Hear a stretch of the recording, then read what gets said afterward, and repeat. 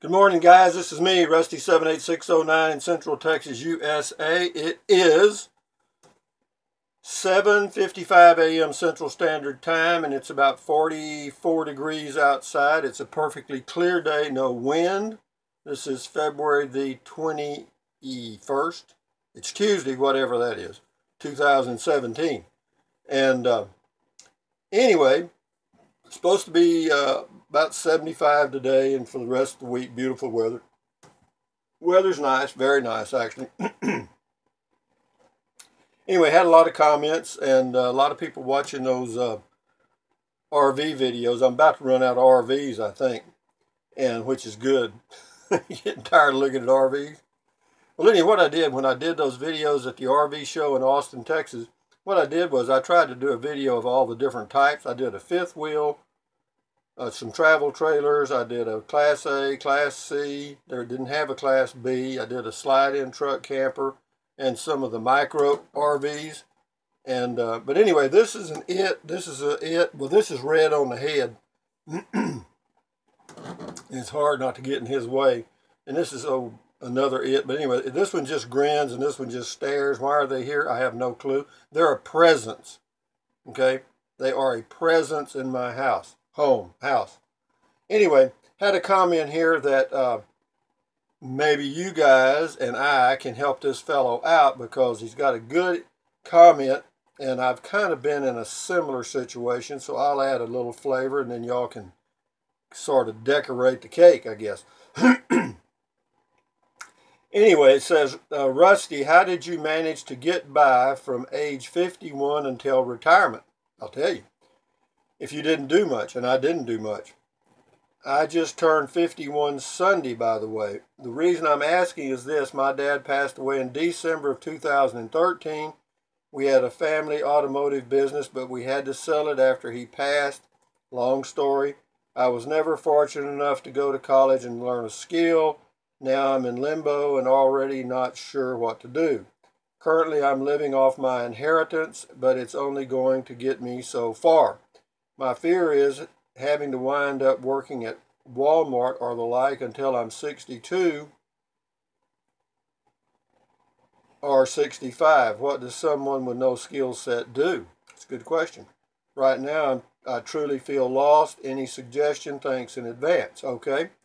First suggestion, cut your expenses to the bone. That's it.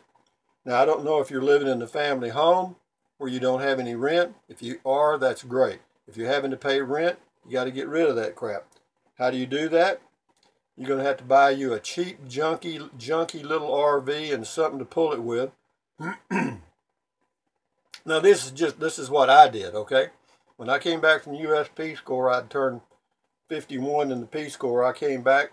They give you a little bonus money. I think it's around six thousand or so. And uh, anyway, but I had a little bit. But anyway, I bought me a a very used RV, my first one that I owned. I'd been living in them before, but I first one I owned myself.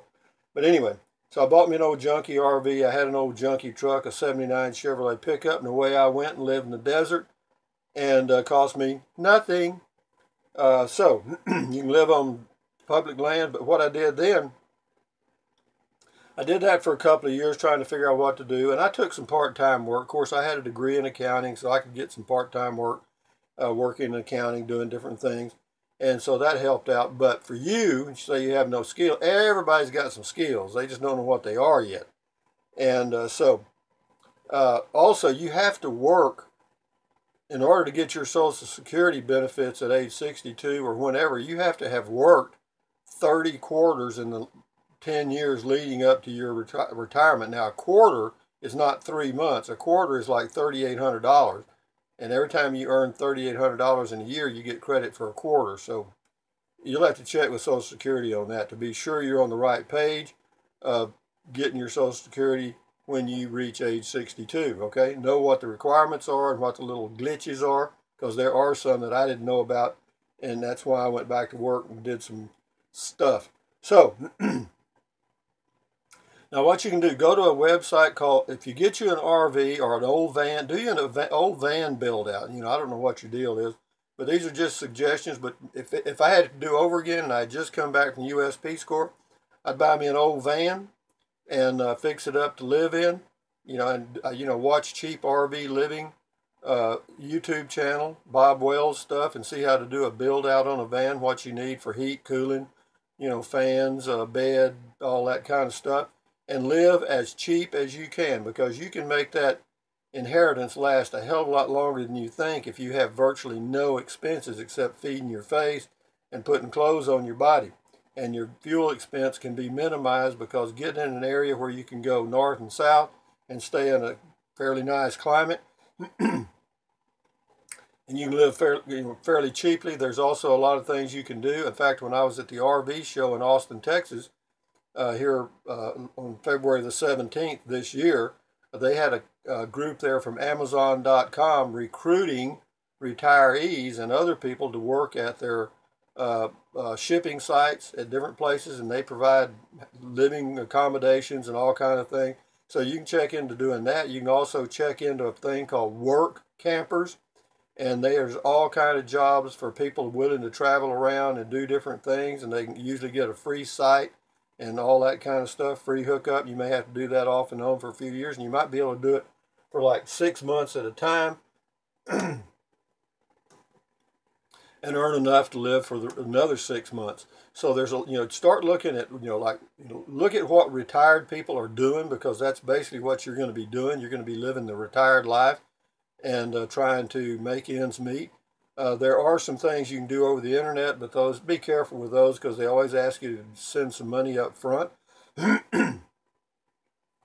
Another thing you can do right now where you live, more than likely, assuming you live in a reasonably sized city or you're near one, uh, you can become what is called a brand ambassador. Okay, B R A N D brand second word ambassador. Look at uh, go to uh, uh, Craigslist for the area you live in and look for employment.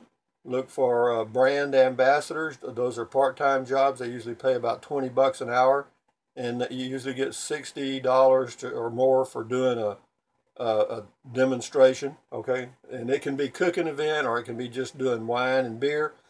and you can pick up, and it's all uh, contract labor, so you know you have to uh, file a, a schedule. Never mind, I won't get into the technique, but anyway, you you'll it'll all be 1099 uh, income, and uh, so, but that's another source of income.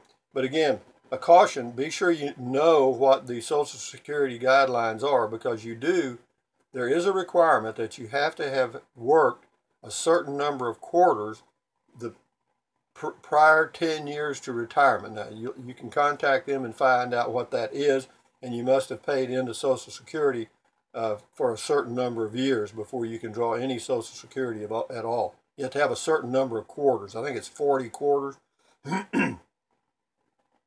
But anyway, uh, at, you know, again, but as far as skills, you can get them. You know, you can get skills. You can, you know, you can uh, do stuff. Uh, you can take courses online. You can go to a community college. You can do all kind of stuff. Okay, and uh, but what you want to do, you don't want to use up your nest egg too fast because if you run out of steam, you will be standing there as a greeter at Walmart or be a uh, making hamburgers at McDonald's. That's for sure. But anyway, those are just a few suggestions. Uh, again, what I would do now, knowing what I know now, looking back, when I got back from the U.S. Peace Corps, the first thing I would have done would, would have been gone. See, we there was no real internet back in 1995 when I came back from the Peace Corps, so I, I couldn't do a lot of the things you can do now. But you can go get on the internet and check with work campers. It'll be W O R K A M P E R S, I think. But it's work campers, people that are retired or traveling around the USA, and they can take you know, jobs at Amazon.com at their different shipping points. And you just want to, and you can also volunteer at the national parks and, uh, and work at the concessions. And, uh, you know, they, they give you housing, plus they give you a, a wage. And uh, usually you get uh, meals along with that. And so you, you got a lot of options. You just got to be willing to do them, you know, because, uh, you know, I volunteered at national parks you know, you go around. You, It's not it's not not hard. In fact, it's a lot of fun. Okay, a lot of fun. And for you at your age, 51, you'd enjoy the hell out of it.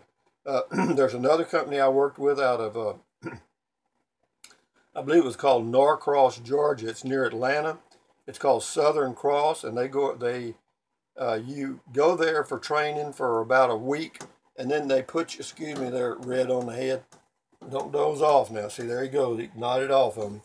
Uh, but anyway, you go to uh, Norcross, Georgia for about a week, and they show you how to uh, check for gas leaks on uh, gas pipelines.